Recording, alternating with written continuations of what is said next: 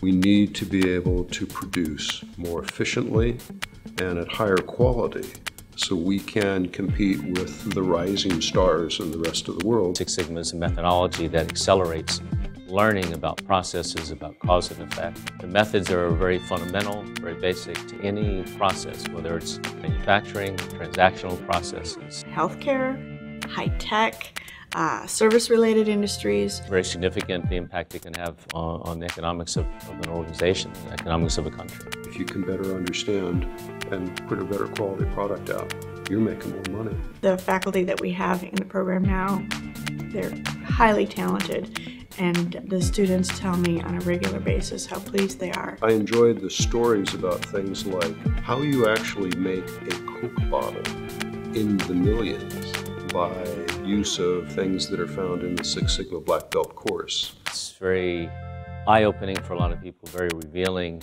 and gives them tools that otherwise would be impossible to achieve the things that they can achieve with that.